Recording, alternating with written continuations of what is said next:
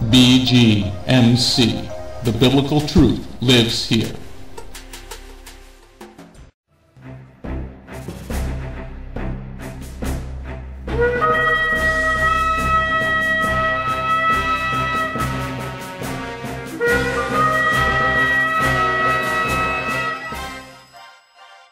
The ancient Hebrew scriptures foretold of the Anointed One, Yeshua HaMashiach. The Messiah Yeshua came to call the people back to the truth of His word and to follow that righteous path.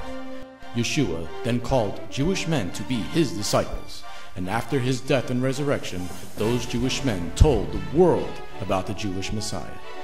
Now, after 2,000 years, Beth Goyim Messianic Congregation has that same calling of those Jewish men telling all people, both Jew and Gentile, about the proper ancient path.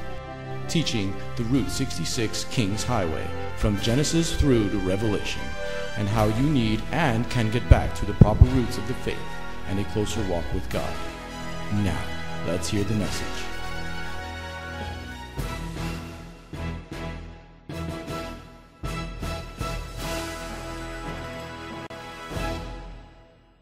Let's get a blessing. Turn to the book of Bereshit, Genesis chapter 39. Bereshit, Genesis chapter 39. This is message P 167. P 167. This is Parash number 9. Vayeshev, meaning he continued living. It goes from Bereshit, Genesis chapter 37 through chapter 40, verse 23. In this particular message, what we're going to do is we're going to focus on chapter 39. Okay, what this talks about is what has transpired so far is Joseph has had some dreams, um, and his brothers uh, didn't like what his dreams said. Um, there was some animosity between the brothers. Um, remember, uh, these are not all uh, full siblings. They have the same father, uh, but they have uh, four different mothers. So there was some animosity between the children that we learned about in this past week. And in the previous part of the parash, you see that the brothers have done something disgusting. They've uh, lied. They've faked killing their brother. They were going to kill him, but one of the brothers spoke up. And now we're going to focus on chapter 39. And it, uh, to break it down so you get a little overview of the whole chapter, just in case we don't get to the whole. Genesis 39, uh, verse 1, the, uh, the being of a young man, complete aspect, uh, how the mistress lusted after him. Verse 7, a certain time, uh, they're being alone in the house. Never be alone in the house with a, you know, an unmarried man with a married woman. Things will go bad. Um, she accuses him, verse 11, um, and then, uh, uh, then she lies to her husband about the whole situation. So let's go take a look at what transpires in Genesis chapter 39. Uh, and let's go on to slide number two.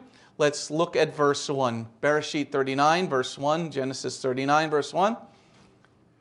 Joseph was brought down to Egypt, and Potiphar, an officer of Pharaoh and captain of the guard, an Egyptian, bought him from the Ishmaelim who had brought him there. Okay, so the first thing we see is their, the brothers, the Hebrew brothers of Joseph, uh, selling their brother uh, to the Ishmaelim, to basically the Philistines and Muslims that we have today. Okay, Joseph had done nothing wrong to his brothers, but they didn't like his attitude and but that's no reason to kill somebody, not liking somebody's attitude, or somebody has a dream that says such and so a thing. You know, it's a dream, okay? Uh, so it is Jehovah. Just remember Jehovah as we see in Torah. It is He who gives us the dreams. Sometimes we don't understand what the dream means. Sometimes we have to search the scriptures to really understand what the dream means. But Joseph was given a dream that is prophetic in nature, okay? Now, not all dreams are prophetic in nature. Sometimes you get dreams where eagles are standing on your head or on your shoulders and things like that. It might be the burritos or something else, but it possibly could be prophetic. Okay? So, here, one of the first things we look at in verse 1 is that Joseph is given over to Potiphar. He's sold to Potiphar for a certain amount of money. So as we've known since we studied this before, we looked at it before, we've read it before, that Joseph is a foreshadow of the Mashiach. Okay? So the Mashiach would be sold for a certain amount of money. Now, Joseph, who was turned over to Gentiles, okay, for a certain sum of money. Okay? So here, as you see in verse 1, we'll read it again. Joseph was brought down to Egypt, and Potiphar, an officer of Pharaoh, and the captain of the guard, an Egyptian, bought him from the Ishmaelim who brought him there. Okay? So a certain amount of money was transacted between the, the Hebrews to the Ishmaelim, and now the Ishmaelim brought them down to another pagan group of people, the Egyptians. Okay? So this is what we're focusing on in verse 1. Now, if we go on to slide number 3, now let's tie that together. About going down to Egypt, the Hebrew going down to Egypt. Let's turn to Matthew chapter 2, please. Matthew chapter 2, verse 13 and 14.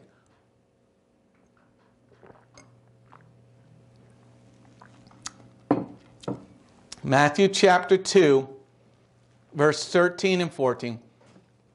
Everything's got to line up with the Messiah.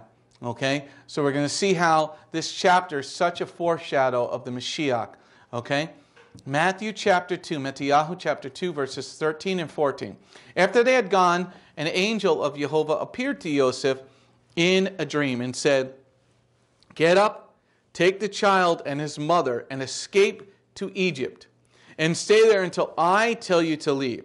For Herod is going to look for the child in order to kill him.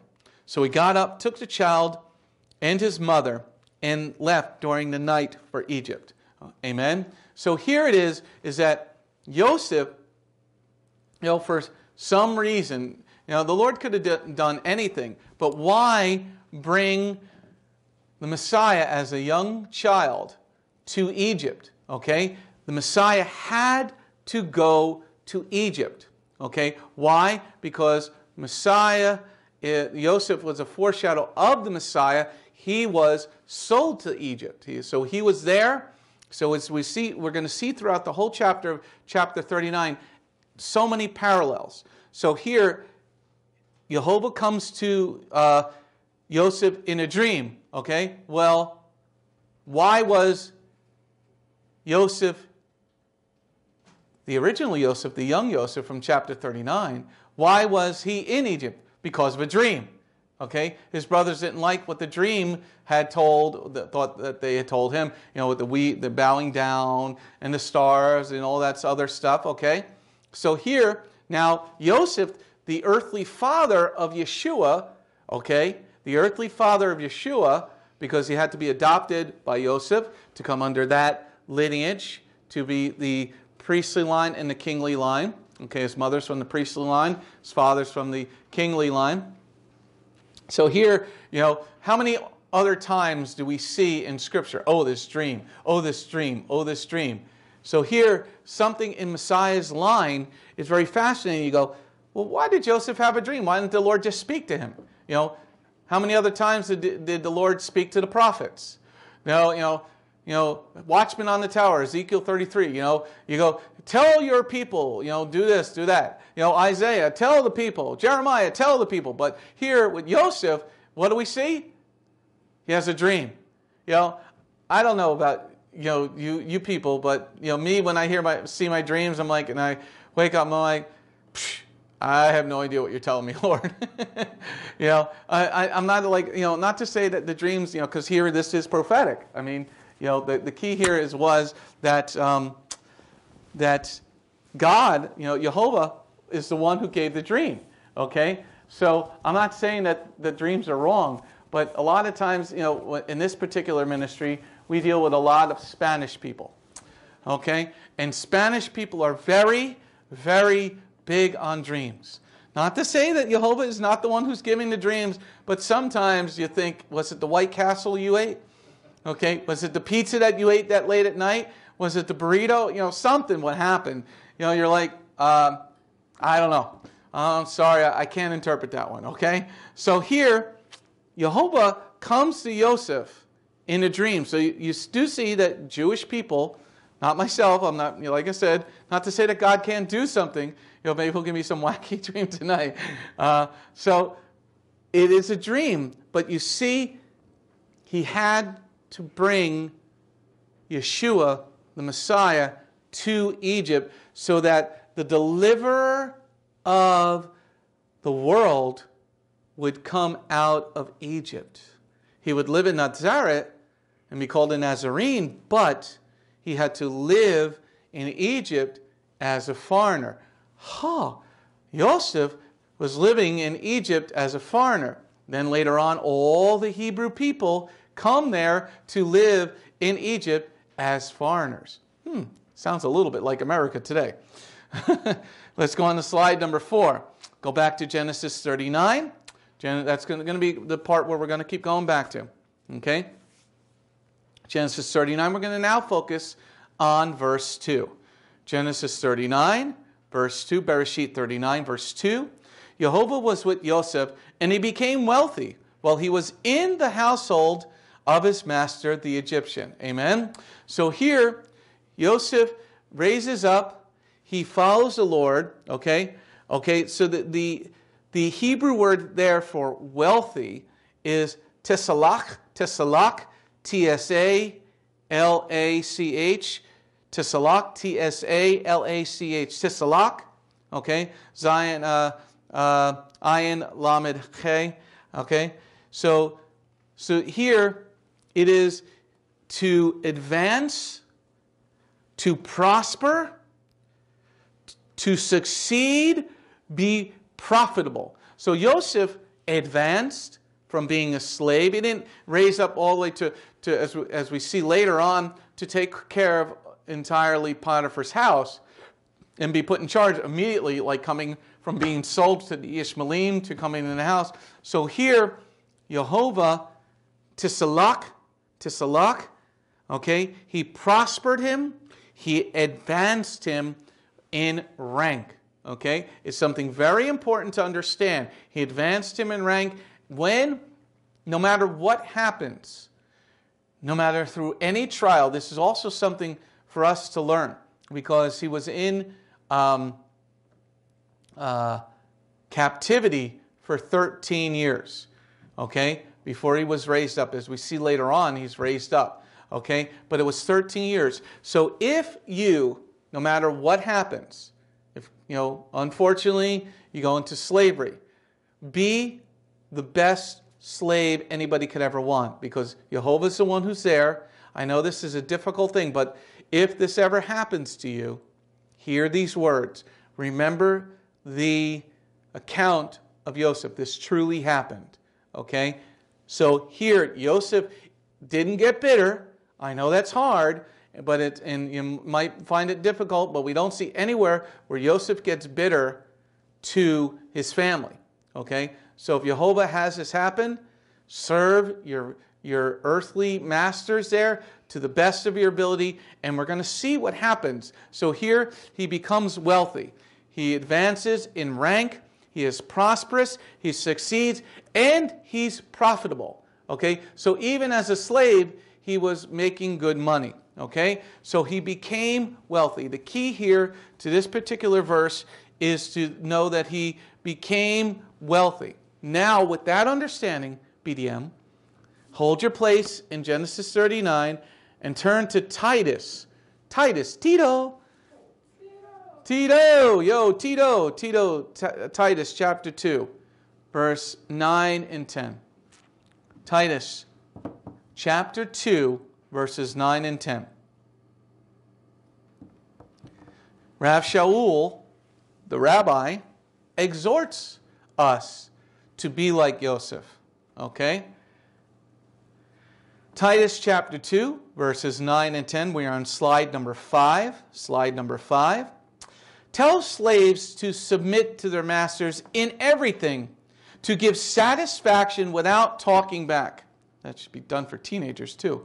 And proliferating. Okay, on the contrary, they should demonstrate complete faithfulness always so that in every way they will make the teaching about God our deliverer more attractive. Okay? Amen? Now, A lot of people say, well, uh, you know, uh, no. See, this is, you could think about it even in work, okay? You, might like your job, you might hate your job. But remember, if you mention that you are a Torah follower, you're, you're a Yeshua follower, if you're wearing the CCO, you represent the kingdom here on earth. Be the best employee that anybody could ever want. You know, if you get an hour lunch, take 55 minutes. Well, I'm supposed to get an hour. Be the best slave. Okay, you're a slave. Well, not really a slave, you're getting paid. But what the thought process is here is that Yosef did not fall back from following Jehovah. Okay? Even though he did nothing wrong to be sold into slavery, he could have been bitter to his Hebrew brothers. He could have been, Where's dad? What happened? I didn't do anything wrong. Okay? He, he was you know, a favorite of his father. So now he's now the lowest person, but he served God in every capacity. So look at verse 9. Tells slaves to submit to their masters in everything to give satisfaction without talking back. Okay? Now, this should be definitely shown upon 15 year old teenage girls. Yes. And uh, teenage children, okay? They, they, they love to talk back. They love to talk back. So, so here, why is Rav Shaul saying this? Remember, this is one book. The Bible is one book. Okay? It doesn't have two sections. You don't throw away the old because the new has come. There's nothing new under the sun. Okay? So here, understand that when Joseph stayed with the teachings of Torah, even though it wasn't written, it was written on her heart, he was blessed, he was raised up, he became wealthy. So Rav Shaul is exhorting us, the, the, the body, to do the same no matter what happens. By doing that, you will make what it says there in verse 10 you'll make God our deliverer more attractive. They'll say, you know, man, I beat this, this guy, I did all this nasty stuff to him, and he still was the best servant. Anybody will just go, it's got to be something spiritual. Okay? And they'll ask about the king.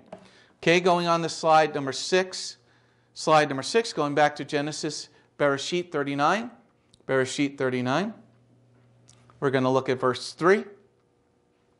His master saw how Jehovah was with him, that Jehovah prospered anything, eh, sorry, everything he did. Let me read that again. His master saw how Jehovah was with him, that Jehovah prospered everything he did. Amen. We have a lot of people at the congregation that, you know, they're really being blessed as long as they're walking with the Lord. When they're playing games with God, I watch how the Lord just goes, it cuts them down. When I see them, like one, one gentleman, and this week, you know, last couple weeks, he's really been getting on a walk with the Lord, and he gets a new job. He didn't even want this job. He had put an application in months ago, gets a new job. Then he passes a test, and now everything is rolling right. So here, but when he wasn't, when he was playing games with God, then things were up in the air. Okay? And I see that so many times through ministry. So here, Potiphar is looking and going, I see that the God of the Hebrews is with you. And he prospered everything he did. Now, that was good to, for who? For Potiphar, but it was also good for who? Joseph. Okay? Joseph knew that if he did everything up to the Lord, that everything else would work out. And this is sometimes what we don't do. If we, you know, I don't like my job. Right? My, my marriage isn't good. My wife isn't a believer. My husband isn't a believer. You do everything to the Lord. This promise is there for everybody. Okay? So Potiphar being an Egyptian, and he only knew idol gods, but had heard, must have heard, about the God of the Hebrews, the God of Abraham, Isaac, and Jacob. Okay? His master saw, and he prospered. That he, and it says there, his master saw how Jehovah was with him. Okay? Now, there were many other gods, and he's saying, there's something different about this guy. I might want to learn about that. So, with everything we do, this is a lesson that we should learn that if Yeshua is with us, who can be against us? Well, everything's not turning out the way I want. Well, maybe the Lord is trying to make you persevere, that He's working out other things that you can't even see. Okay? Going on to slide number seven. Okay? Hold your place in Genesis 39 and turn to the Brit Hadashah, Matthew 5. Matthew 5. Matthew 5, verse 16. Matthew 5, Matthew 5, verse 16.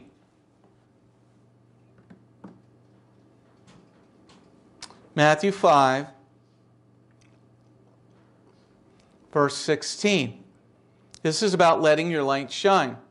In the same way, let your light shine before people so that they may see the good things you do and praise your Father in heaven. Amen. So, what did Potiphar see?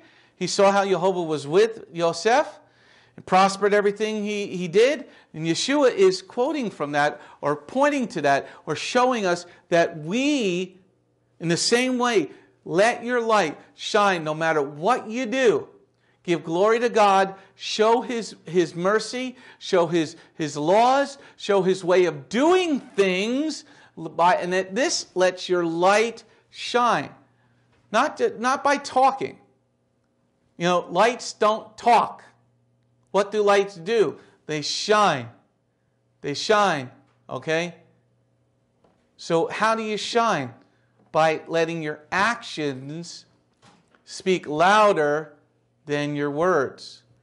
Let your actions speak louder than your words. Like Shabbat is, you know, Friday night into Saturday night. Don't let nothing touch it. Those are your actions. Okay? Things are going crazy in the world. What do you do? You know, your car breaks down. Do you get out of the car? Do you start kicking it? You start cursing and uh, ah, ah, ah, you know, people are you know they got the old lady. You know, you can't see the old lady. All you see is the knuckles on the steering wheel. You know, what do you do? Do you just lay on the horn? You, you, you go by and you go yeah, you know, you, you know.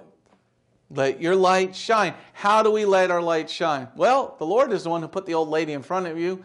Find a way to go around or Make a right turn. Go up the hill. Go around. Do something so you don't lose your light. Because when what happens is when you lose your shalom. See, when Yeshua said, what else did Yeshua say? He said, Remember, my shalom I give to you. Not the way the world gives it. Shalom that passes all understanding. Let your light shine no matter what's going on. And if the world starts going crazy, when you see the news, oh my goodness gracious, the war stuff that's going on, you know, we had Star Wars happen this week, you know, the Navy, the American Navy, you know, it's got the Millennium Falcon out there. You know, they got laser beams that shoot things and blow things up now. Okay, yeah, yeah, Star Wars is happening. You know, go, go watch episode four and you see Luke Skywalker say, I got one. You know what? That thing is now operational okay? And it only costs 57 cents each shot. Okay? That's all it costs, 57 cents. Now, you know, so you see all these war stories going on. You got the Russians over by the Pol- Poland and the Balkan Sea, and then they're like, ah, all this madness. So, no matter what, let your light shine. Let your light shine. This is what Yeshua is exhorting us to, just like Joseph. Joseph did let his light shine and what is that light that shines in us? It is the Lord. We were, you know, we're supposed to be like the moon, okay? The moon has no light of its own, it just reflects the sun. Now turn to Philippians 2. Philippians 2. Philippians 2, verse 14 through 16. Philippians 2, verse 14 through 16. Philippians 2, verse 14 through 16. Do everything without kvetching or arguing. I don't think kvetching is in some of the other translations. So that you may be blameless and pure children of Jehovah without defect in the midst of a twisted and perverted generation. That's what we're on. Among whom you shine like stars in the sky.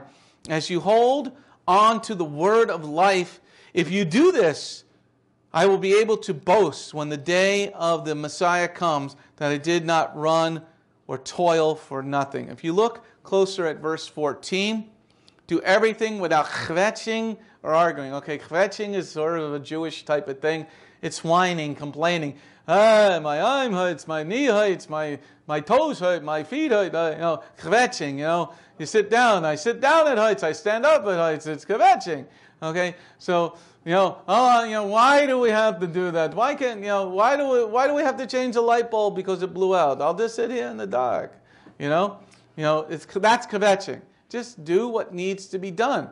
So Paul is uh, telling us, you know, I'm sure kvetching is not in the NASB or the King James, but the King, you know, the King Jimmy there. But it is the same understanding. This kvetching is arguing, whining, complaining. We never see Joseph complain.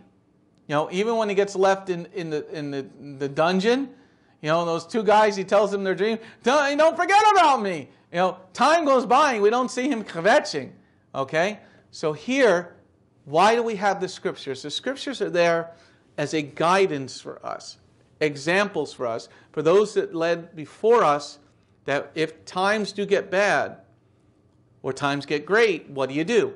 Times get great. What do you keep doing to keep the times great? Times get bad. What do you do to get the times to become good again?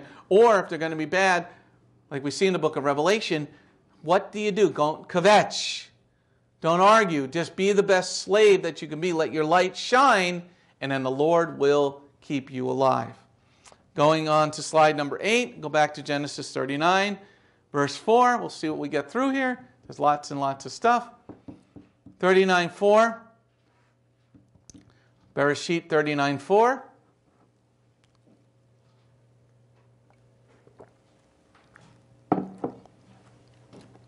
Joseph pleased him as he served him, and his master appointed him manager of his household, he entrusted all his possessions to Joseph. Amen? So here he was. Joseph was daddy's favorite little, little boy. Okay? Daddy's favorite. Hung out with daddy. Okay? He was the one who was, you know, got all the gifts from dad. And then he lost it all from brothers who were jealous. Then he didn't know what was going to happen. Sold to the Ishmaelim, has got to walk from wherever he was all the way to Egypt. Now that's a walk and a half, okay? Then he's in, you know, he's in Egypt, you know, maybe not even knowing the language, had to learn the language to be able to conversate with his boss, okay?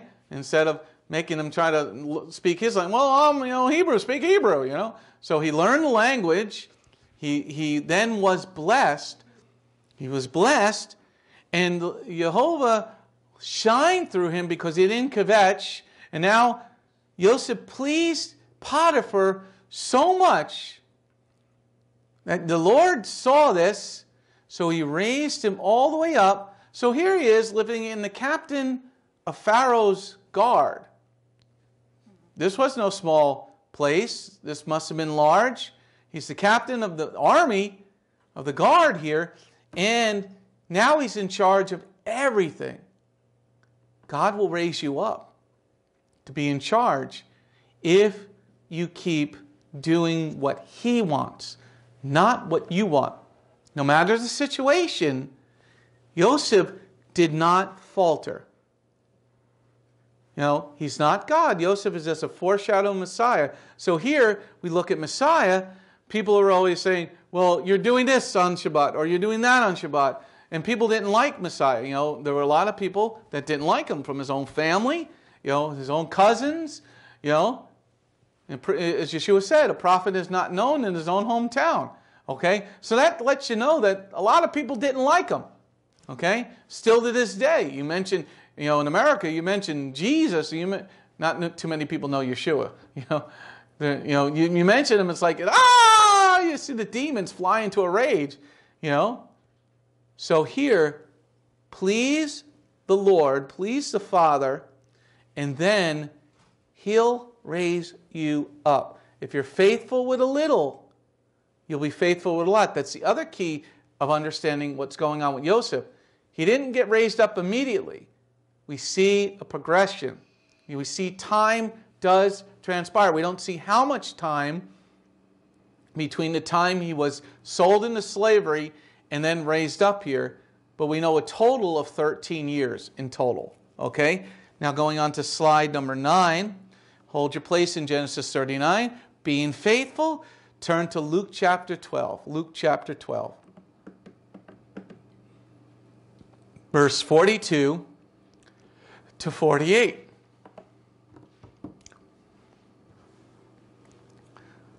Luke chapter 12, verse 42 to 48. Hopefully, you're learning something with this parash. I think it's a very fascinating parash. Luke 12, 42 to 48 states, The Lord replied, No. Who is the faithful and sensible manager, whose master puts him in charge of the household staff to give them their share of food at the proper time? It will go well with that servant if he is found doing his job when the master comes. Yes, I tell you, he will put him in charge of all he owns. But if that servant says to himself, My master is taking his time and coming, and starts bullying the men and women, servants, and eating and drinking and getting drunk, then his master will come on a day when the servant isn't expecting him. At a time he doesn't know in advance, his master will cut him in two and put him in with the disloyal. Now, the servant who knew what his master wanted, but didn't prepare or act according to his will, will be whipped with many lashes. However, the one that did what deserves a beating, but didn't know, will receive a few lashes. From him who has been given much, much will be demanded. From to whom people entrust much, they will still ask more. Amen? Look at verse 42, the beginning of verse 42. The Lord replied, Yeshua replied, No, who is a faithful and sensible manager who puts him in charge of the household staff. Joseph was put in charge. Why? Because he was faithful. He was a faithful and sensible manager. Okay? So Yeshua is pointing us back to Joseph. Okay? He's pointing us and saying, look, Joseph was faithful. He was sold into slavery, you know, and you know, here a servant is a slave. Joseph was a slave, not by his own choice. Maybe this person wasn't by his own choice a slave in this parable that Yeshua is talking about. Maybe his father, you know, owed money and the whole family gets sold into slavery, okay? So here Yeshua is saying, if you're faithful with the little, a faithful and sensible manager, then you know what? The guy who's in charge that Yeshua put there will then raise you up same goes for us here. If we're faithful with what the Lord gave us, His Torah, His ways, His Messiah, then what happens? I enter the Holy of Holies. Or what was the first song we sang? Okay? We will judge the angels. How will that be? Nothing is impossible. Nothing is impossible. Because if you're a faithful, insensible manager with what God gives you, Yeshua is saying, He'll raise you up higher. And then in another parable, he also talks about if you're faithful with that little, you do a lot with that little, he'll give you cities to take care of. Cities to take care of. Going on to slide number 10, going back to Genesis 39, verse 5 and 6 this time. Bereshit 39, slide number 10, verse 5 and 6. 5 and 6. From the time he appointed him manager of his household and all his possessions, Jehovah blessed the Egyptian's household of, for Joseph's sake. Jehovah bless, blessing was on all he owned, whether in the house or in the field.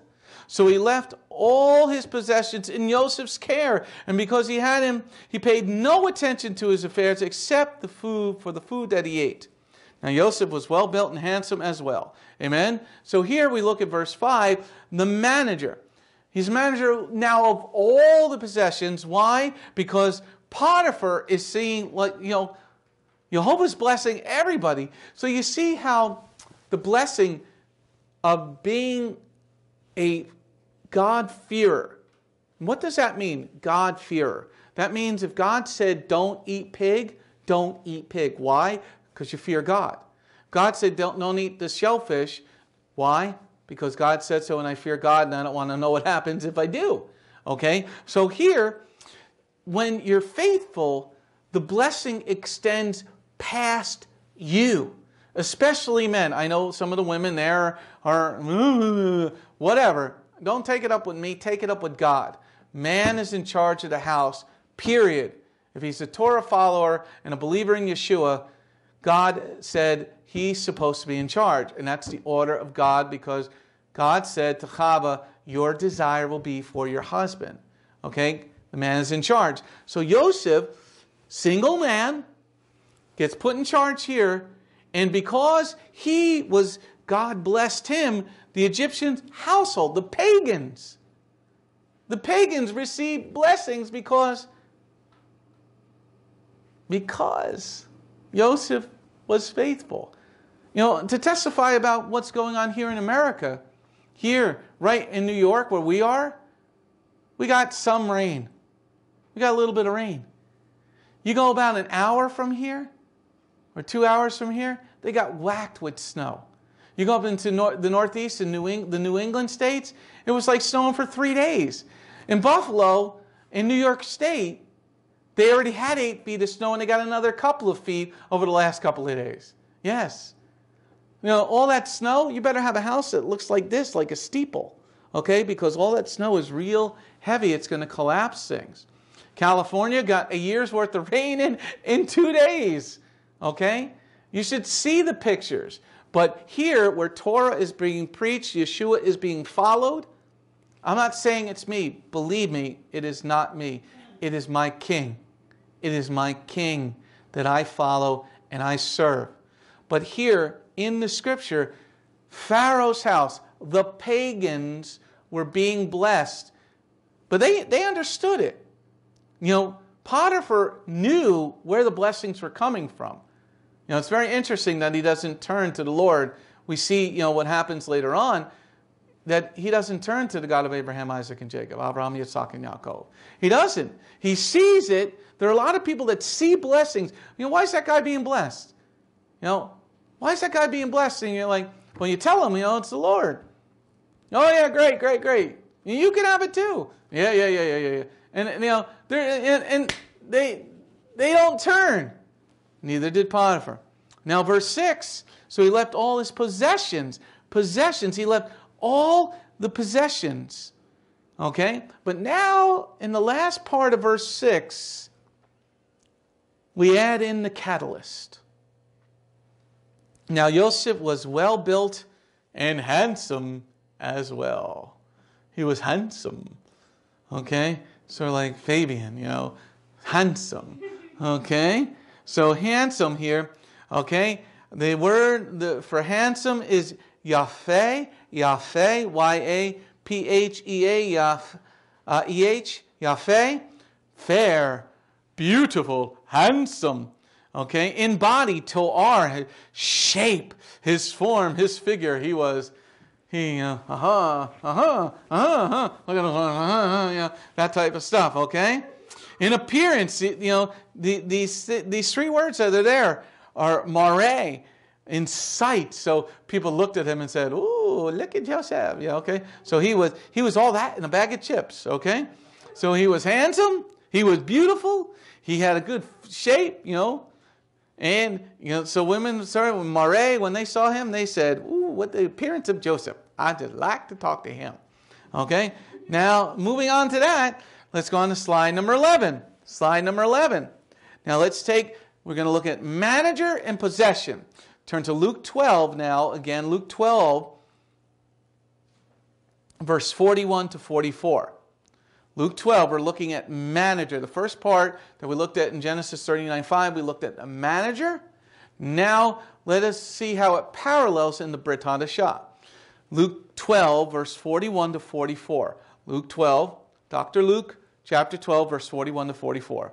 Kepha said, Sir, are you telling this parable for our benefit only or for everyone's? The Lord replied, No. Who is a faithful and sensible manager, whose manager puts him in charge of the household staff to give them the share of food at the proper time? It will go well with that servant if he's found doing his job when his master comes. Yes, I tell you, he will put him in charge of all he owns.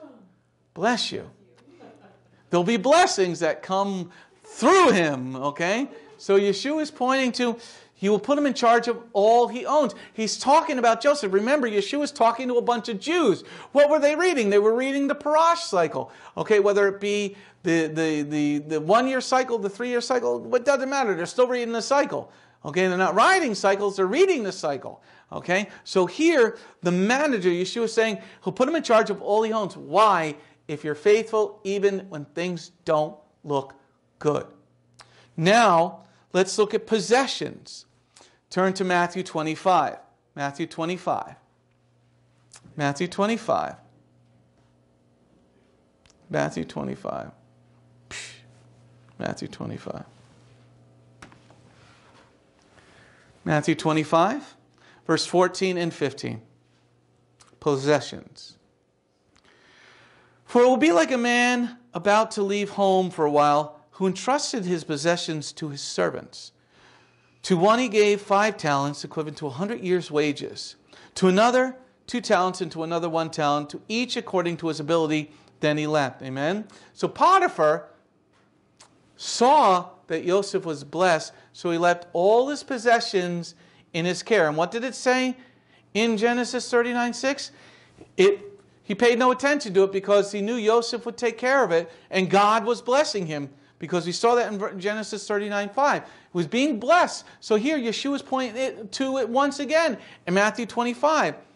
I'll give you all this and we'll see what you do with it. So Joseph was diligent with what was being given to him. Okay? And if you read through to verse 27 in Matthew 25, you'll get the fuller understanding of what happens when the master puts you in charge of something. So if Jehovah raises you up, Let's say you, you get married and you're having a child. What do you do? If you know your wife's pregnant, what do you do? Are you blessed to, to have a job? Are you blessed to have a second job? God's giving you a blessing. There's so many people around the globe who want children, who can't have children. So here, what do you do with that blessing that's coming? If you're faithful with a little, Jehovah's going to bless you with a lot. But if you're not happy with that little, then don't worry. That child could be sick when the child is born. That child could have some sort of chromosome missing. This child could be born a diabetic. There's so many things that could be born, happen, and that's just one area. Be faithful with what He's given you and be blessed with it and be thankful, not just talking, but inside. Joseph was inside and Jehovah said he saw it, it said there already. Okay, going on to slide number 12. Let's go back to Genesis 39, verse 7 through 10. Genesis 39, verse 7 through 10. Genesis 39, verse 7 through 10. In time, the day came when his master's wife took a look at Joseph and said, Sleep with me. But he refused, saying to his master's wife, Look, honey, because my master has me, he doesn't know what's going on in the house. He has put all of his possessions in my charge. In this house, I am his equal. He hasn't withheld anything from me except yourself, because you're you are his wife. How then could I do such a wicked thing and sin against God? But she kept pressing him day after day. Nevertheless, he didn't listen to her. He refused to sleep with her or even be with her. Amen? So here, you know, many times people go, well, how do we know Torah was written on, on their hearts?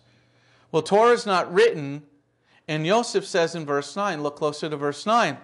In this house I am his equal, he hasn't withheld anything from me except yourself, because you are his wife. How then could I do such a wicked thing and sin against God? Well, Torah wasn't written. How do we know what sin is? There's your perfect example right there. 39 9. Check and mate. Jaque mate, as they say in Spanish. I got all lots of people here. Now, see, there's the other part about this that we need to look at because it's prevalent in our society in the world. Okay? You know, adultery, fornication. So you, you throw away everything you know, you sleep with the boss's wife. You get drunk at a Christmas party. whatever. You throw it away for 15 minutes of fun. Maybe it was a great 15 minutes. Maybe it's the best 15 minutes ever. Maybe it's the best two hours ever. For that little bit of time, you're willing to throw away your eternity. Because Joseph says, Why would I do such a wicked thing and sin against God? Fornication and adultery, which is rampant in this world. Rampant. Because why? Train up a child in the way that they should go and they won't depart from when they're old. That also goes for the opposite of Torah. Because they're trying to train up children throughout the world. Well, you could be whatever you want. If you think you're a girl today, but you're a boy, you know, you could be a girl today. No, you can't. But this is what they're training. They're training to look at pornography. The biggest business in the world is pornography. But Joseph knew in his heart, because why? Torah was there. How could I sin against God? You're my wife's, my, my boss's wife. I'm sorry. It ain't worth it. It ain't worth it to you. It ain't worth it to me. But, you know, here, she was a pagan. And when pagans come in, you got to keep your distance. You got to always keep that hedge of protection around you. Because pagans, when they get caught in a lie, they'll lie some more. They'll do whatever it takes to win themselves out of what they think is a, is a bad situation. And we as believers can't get caught in that situation. That's why Yeshua says what? Is be wise as serpents and gentle as doves. Wise as serpent. You got to understand what's going on in the world. That's why I teach the way I teach. Because Yeshua said you got to be wise. Oh, well, other pastors and rabbis don't talk like, yeah, okay, that's fine. Then go to their place. You know, you know I'm going to tell you the truth because this is, Satan hasn't changed. You know, he's the same jerk that he's been for 6,000 years. Okay? He knows how to play the game, and it's we that don't know how to play the game. But Joseph, he was there. He, he knew, you know, don't touch that. I can touch anything else, but can't touch that. Okay? You got to learn from it. Okay? that Jezebel, that Jezebel spirit comes in, you know, she's going to want, she's going to, as it says there, she kept pressing him day after day. You got to make sure that you tie yourself to another guy uh, that, that's another slave. You know, you're coming with me. No, uh, you know, well, I'm going to pull your leash, or you're coming because I'm in charge. And yeah, that woman, she's not good news. Okay? And it doesn't say if she was pretty or ugly. You know, you know, maybe she was pretty. Maybe she was pretty. Now, the other thing about, remember about the Egyptians, when you studied Egyptians, they, they wore a little bit of clothing. Remember, it's a desert, it's hot, okay? They wore a little bit of clothing. You know, they, they, nudity was a big thing for them, okay? Nudity was a very big thing for them. It's not something new that's going on in the world today. It's actually something old, and it's caused societies to crumble when they go to it. Each, you know, just study history. Pick up the Encyclopedia Britannica and look at it. Get away from Wikipedia, it stinks. Going on to the next slide. Okay? Turn to Proverbs 7. We'll go for another 10 minutes or 8 minutes. We'll do an hour teaching. Proverbs 7, verse 13 through 16. Proverbs 7, verse 13 through 16. Proverbs, Mishlei 7, verse 13 through 16. She grabs him gives him a kiss, and brazen face, she says to him, I had to offer peace sacrifices, and I fulfilled my vows today. This is why I came out to meet you, to look for you. Now I found you. I spread quilts on my couch and made a colored Egyptian linen. Oh. If you read the whole thing, it's about the adulterous woman. Her husband's left, and now she's looking for her, her man. You know, Stay away from this. They're just bad news because remember, if you think that you're going to love her, if she cheated on one man, she's going to cheat on you. Okay? Unless she finds the Lord. Unless he finds the Lord. Don't get involved in it because it goes in, he's like an ox and he just, uh, uh, uh, you know, just goes in and gets chopped up into little steaks. Okay? So here, the key here to understanding why this is talking about Joseph is the Egyptian linen. Okay, it's a key word. The Egyptian linen. Okay, it's being taken, the adulterous woman. Okay, so there, the fine linen that was in that land. It's very hard to make linen too, especially back then without machines. Okay, So here she brazen faced, just like Potiphar's wife. Going on to slide 14. Let's take this spirit of adulteress. Go to Revelation 20, uh, Revelation 2, verse 21 through 23. Revelation 2, verse 21 to 23. Hopefully, you're learning some really fine lessons in this parash. I gave her time to turn from her sin, but she doesn't want to repent of her immorality. So I'm throwing her, her into a sick bed, and those who commit adultery with her I am throwing into great trouble.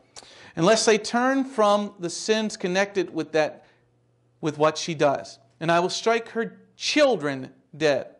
Then all the messianic communities will know that I am the one who searches minds and hearts, and that I will give to each of you what your deeds deserve. Amen? God's going to give you what your deeds deserve. So if you're following his 613 laws, then he'll give to you a reward that is good. But if you're doing what your own heart desires and want to do what you want to do, he's going to give you what you deserve. Okay? So Joseph so far was being blessed, right? He's being blessed. Everything he did touched, he prospered. Okay? And God gave him what he deserved. Okay? Now going back to slide, uh, slide 15, go back to Genesis uh, 39, verse 11 and 12. Bereshit 39, verse 11 and 12.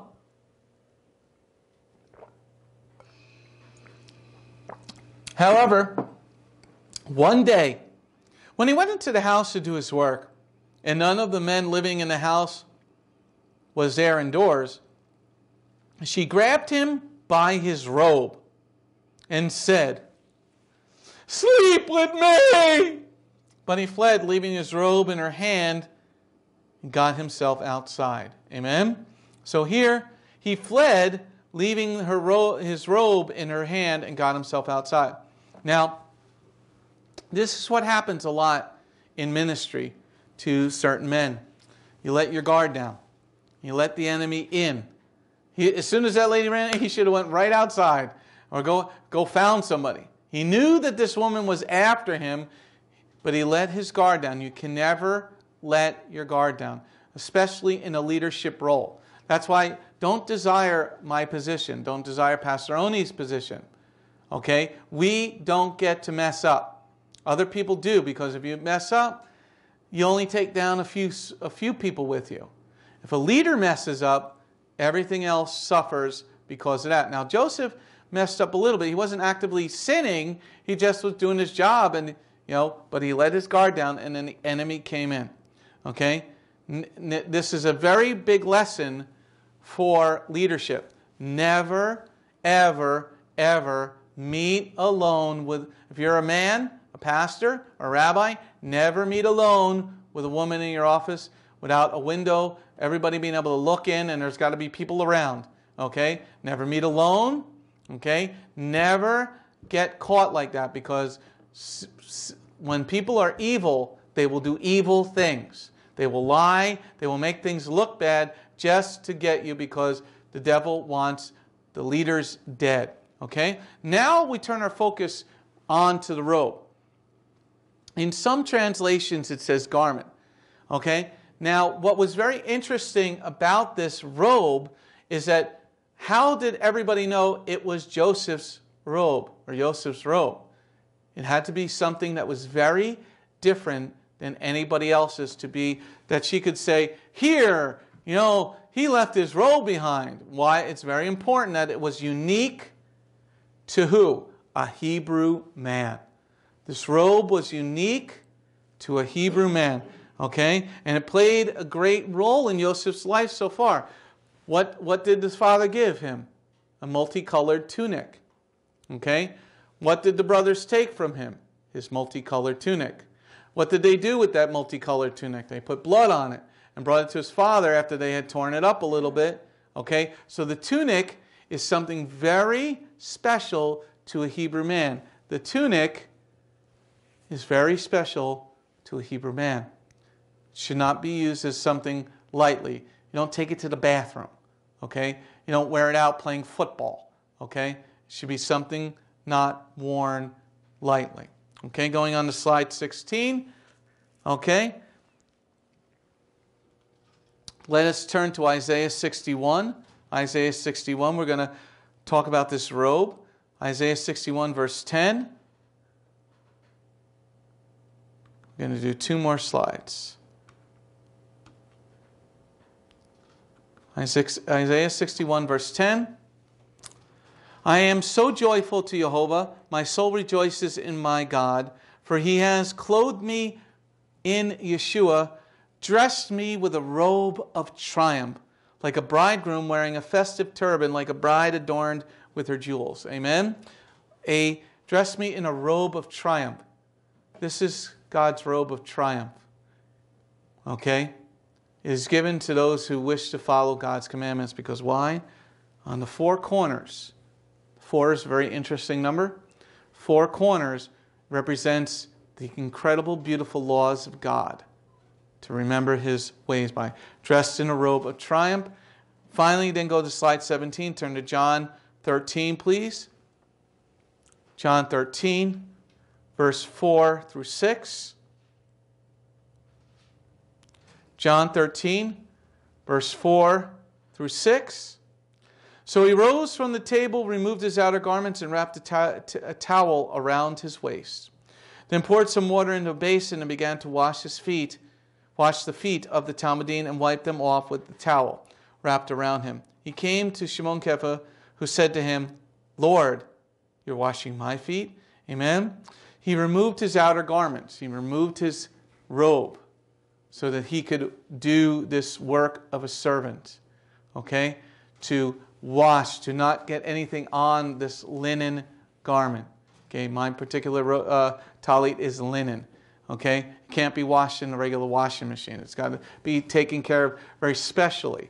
Okay, linen is a very different type of material that must be taken care of specially. And then finally, for this parash teaching that we're going to do right now, there's more to it, but this is all we're going to get to. Turn to Mark chapter 6, verse 56. Mark chapter 6, verse 56.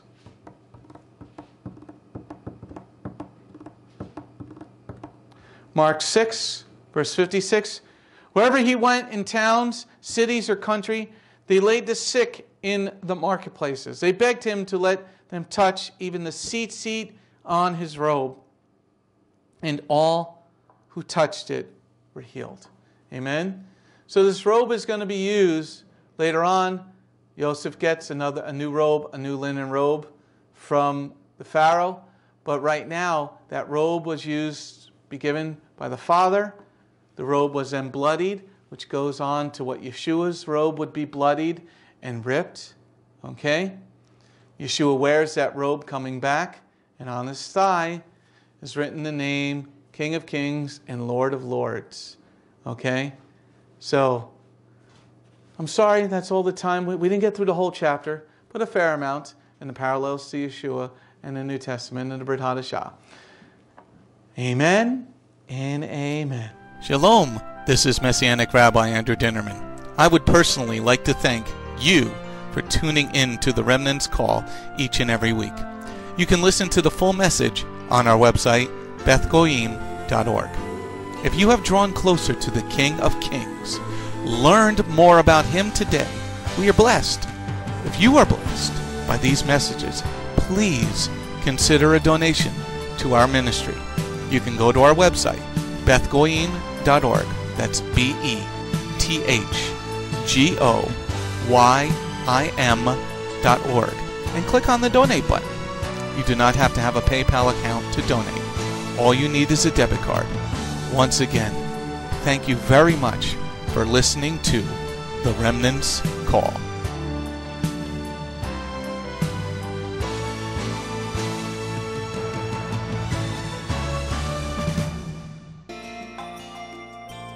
If you have not taken your first steps to be born again, just ask God's help.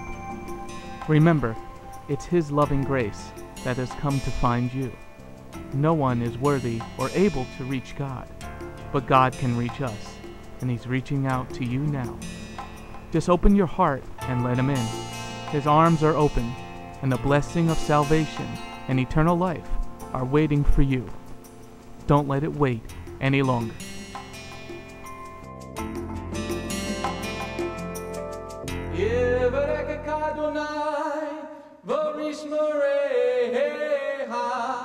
Ya Adonai, panavoleka, vikuneka, Yisa Adonai, panavoleka, vayasem laka, shalom.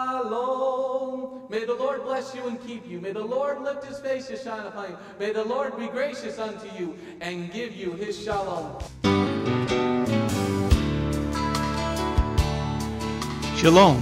My name is Messianic Rabbi Andrew Dinnerman, and I invite you to come to visit our congregation. If you are in the tri state area, come out and visit with us on Shabbat. We are a congregation of Jews and Gentiles living as one in the Messiah Yeshua. BGMC is a place of true worship. The focus never wanders from the Hebraic roots of our faith.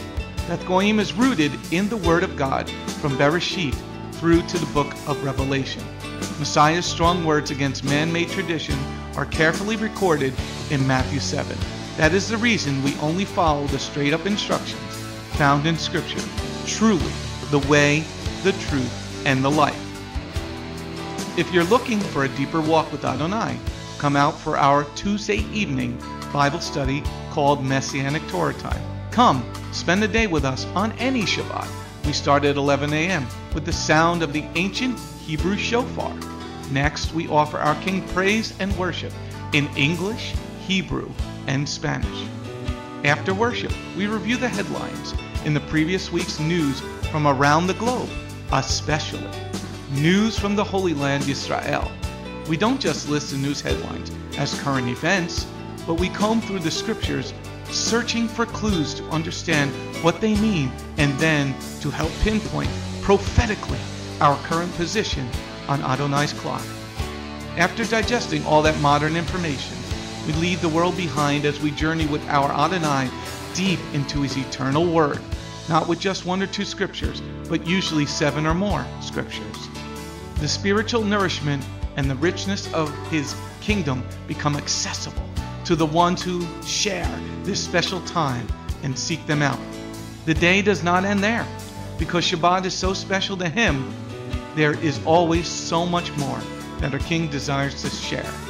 So instead of separating and leaving, we stay together as a family for potluck lunch and an afternoon study of our King's Word. We close the Shabbat together with a reading of the new week's parashah. That's the Torah portion. Even after those blessings, many of us just can't get enough. So the members bring prepared homemade foods to share while we all enjoy an uplifting movie together. If all that information is not quite enough, you can check out our website where you will find over 200 video teachings and biblical holy day studies. Under Messianic Torah Time, the Hebrew Roots button, you'll discover free studies on many, many different topics, including PowerPoint slide presentations. If Beth Goyim sounds like a place you'd love to visit, but you live outside the tri state area, there is still a way to connect with us. We stream live on the internet on Tuesday, Thursday, and Shabbat. The website is www.bethgoyim.org. That's B E T H G O Y I M dot org. Our phone number is 973 338 7800 or 978 2 Yeshua. That's 978, the number 2, Yeshua. Shalom.